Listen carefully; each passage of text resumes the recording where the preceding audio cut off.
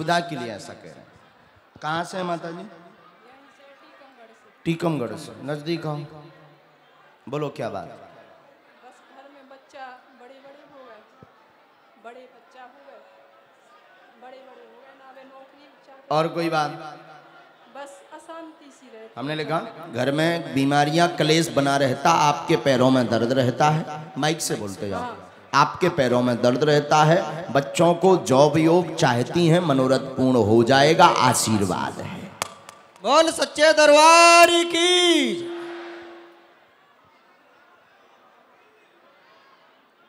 दर्शन करवा देना।